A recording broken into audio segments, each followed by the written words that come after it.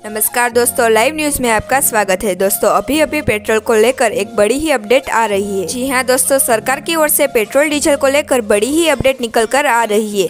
दोस्तों, क्या कुछ कहा गया है पेट्रोल डीजल को लेकर? इसके बारे में हम संपूर्ण जानकारी आपको इस वीडियो में देंगे। उससे पहले पेट्रोल डीजल के ताज़ा दाम और पेट्रोल डीजल से जुड़ी जानकारी के लिए हमारे चैनल को सब्सक्राइब कीजिए। चलिए दोस्तों, इस खबर को हम पूरे विस्तार से जान लेते हैं। दोस्तों, अंतर्राष्ट्रीय बाज़ार में कच्चे तेल की कीमतें बढ़ रही है। इसीलिए भारत में पेट्रोल डीजल की कीमतों में बढ़ोतरी जारी है। और दोस्तों, आपको बता दें कि देश भर में पेट्रोल, डीजल की कीमतें हर दिन नया रिकॉर्ड बना रही है। घरेलू तेल कंपनियों ने रविवार को लगातार पांचवे दिन पेट्रोल और डीजल के दामों में 35 पैसे प्रति लीटर की बढ़ोतरी की है। और डीजल की बात करें तो डीजल की कीमत भी शतक पार पर पहुँच रही है। चलिए दोस्तों, अब जान लेते हैं पेट्रोल, डीजल के आज के क्या भाव रहे हैं।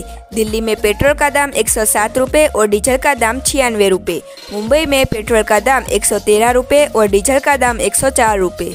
कोलकाता में पेट्रोल का दाम एक सौ आठ और डीजल का दाम निन्यानवे रूपए। चेन्नई में पेट्रोल का दाम एक सौ चार और डीजल का दाम सौ रूपए रहा है। और दोस्तों, साथ ही आपके लिए जानना ज़रूरी है कि देश के सभी राज्यों में पेट्रोल की कीमत शतक पर पहुँच चुकी है। वही अब अन्य महानगरों की तरह राष्ट्र राजधानी दिल्ली में भी डीजल का दाम सौ रूपए की तरफ़ बढ़ रहा है। और दोस्तों, आपको बता दें कि राजस्थान, छत्तीसगढ़, महाराष्ट्र, जम्मू कश्मीर, झारखंड, केरल, कर्नाटक, तमिलनाडु, मध्य प्रदेश समेत कई जगहों पर डीजल का दाम सौ रूपए हो चुका है। दोस्तों, आज के वीडियो में बस इतना ही। अगर आपको वीडियो पसंद आया तो लाइक कीजिए और अपने दोस्तों के साथ भी शेयर कीजिए। धन्यवाद।